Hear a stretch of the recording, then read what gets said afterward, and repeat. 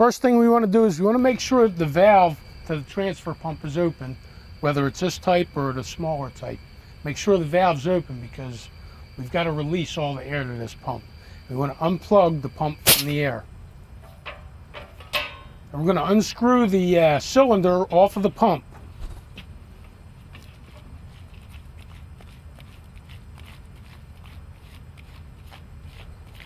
And mainly what we're doing here is getting rid of the moisture and re-lubricating the transfer pump. I'm going to take the cylinder off. We're going to take a clean rag and wipe out the cylinder.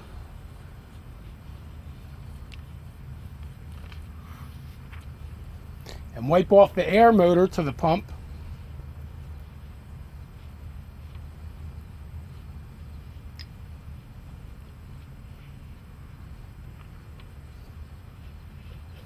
We're going to take about a nickel size dab of white lithium grease and put it on the cylinder.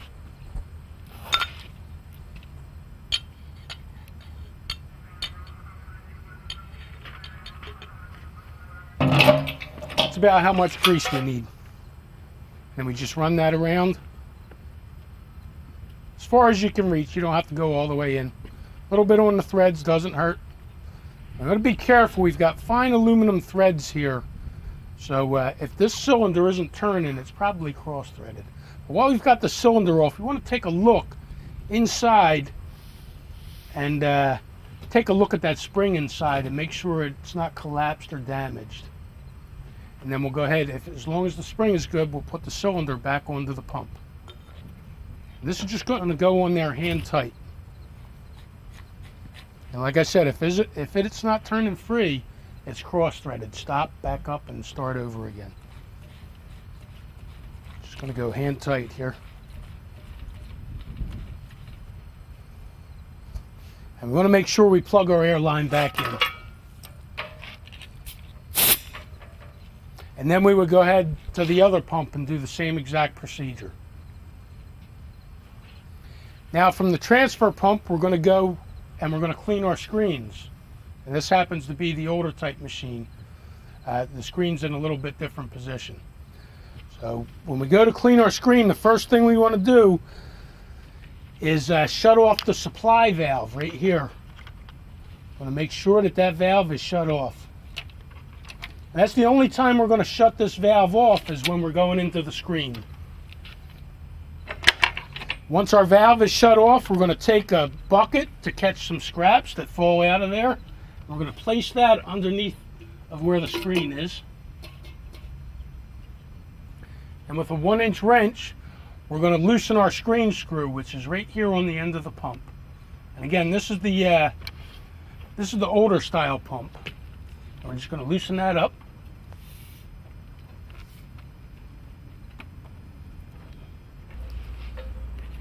So here's our screen.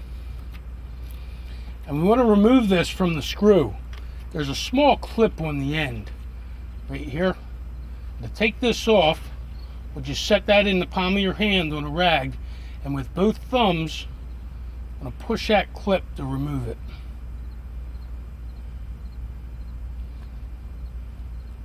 And once, it, once the clip is started out there, then you can grab it and pull it off.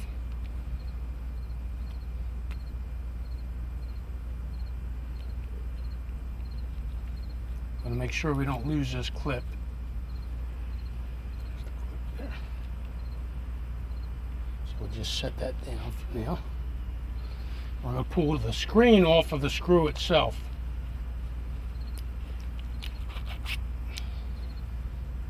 So now we've got the screen and the screw separate. We're going to flush both pieces off with gun cleaner.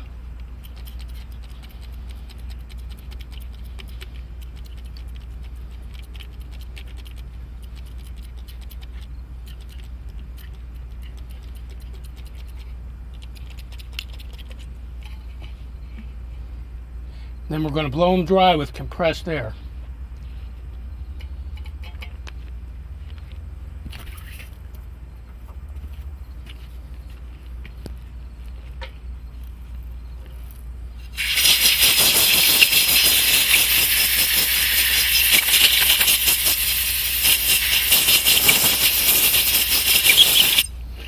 And we're going to repeat that procedure, flushing it and blowing it dry.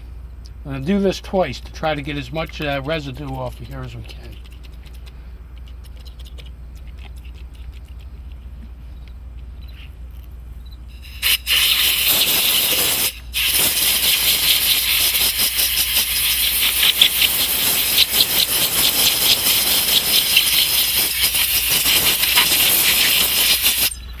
After we clean the screens by flushing it and blowing it dry twice, we want to look at the screen in the light to make sure it's actually clear.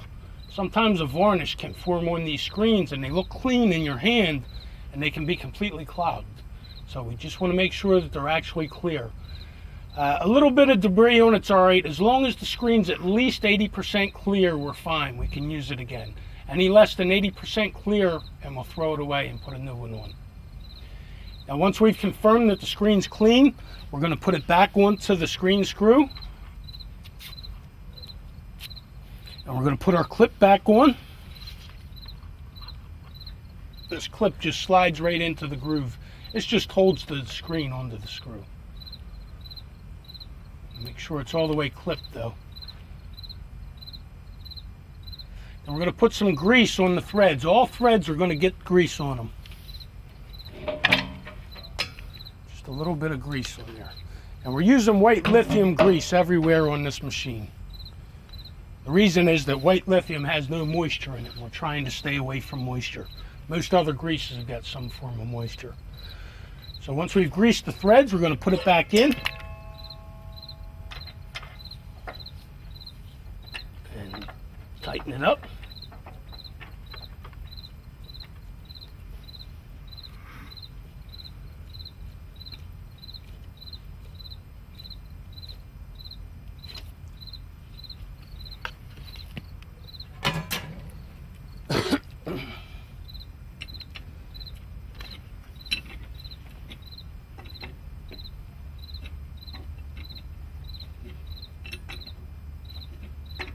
And this doesn't get super tight. We just want to snug this up.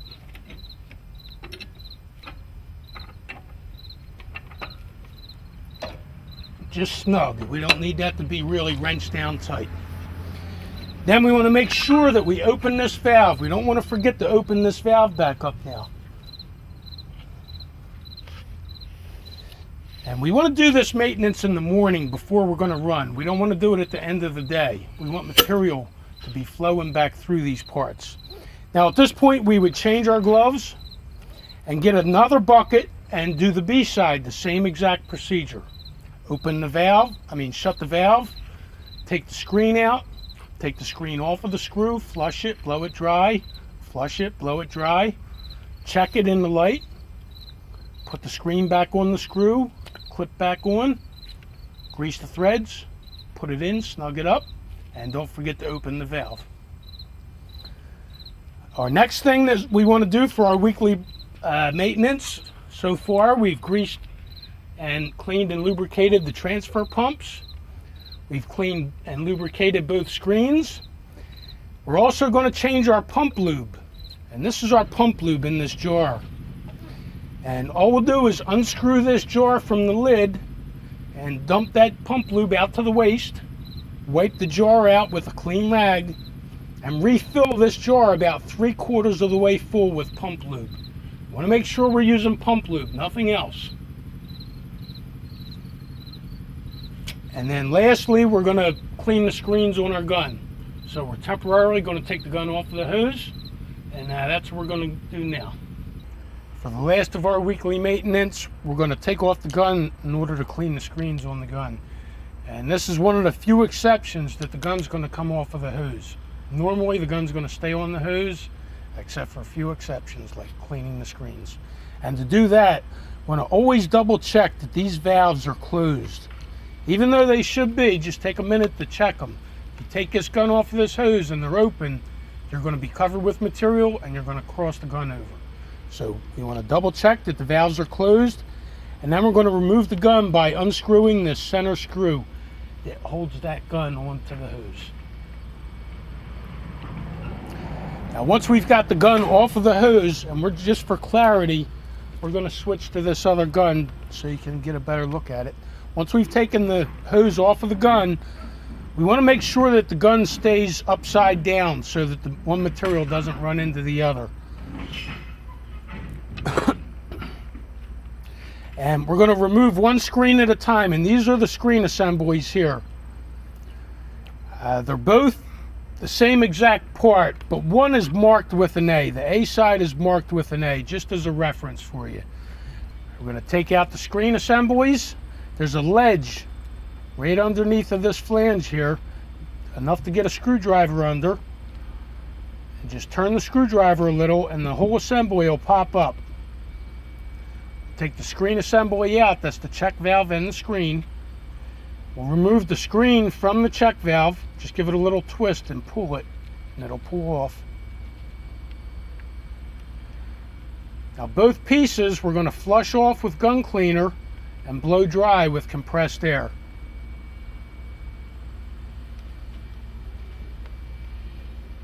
So we're going to flush both pieces, turn them over, flush them, and then blow them dry with compressed air.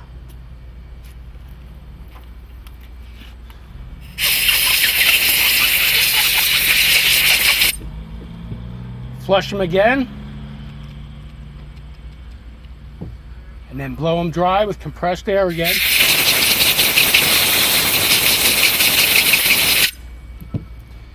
And same with any screens, we want to look at that screen up in the light to make sure it's actually clear. And just like with the other screen, if that screen is any less than 80% clear, throw it out and put a new one in. Now we're going to put the screen back under the check valve. And we're going to take a little bit of grease to put on the O-ring.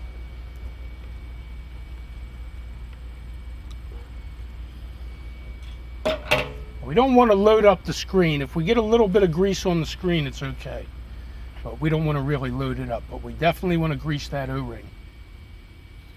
Once we've got the O-ring greased, we're going to set that back into place in the gun. Now, occasionally, that'll want to keep popping up. If that happens, you'll take a small screwdriver and hold that check ball open as you push it down and it'll stay in then. Now we want to either change our gloves or wipe them off really well. And we're going to do the other side, the other screen. Same exact procedure. Sticking the screwdriver in the groove, give it a little twist, pull the whole assembly out, take the screen off of the check valve, Flush both parts with gun cleaner. Blow them both dry. Flush them again. Blow them dry. Check the screen up in the light to make sure it's actually clear. If it is, we'll put it back onto the check valve. Again, grease the O-ring.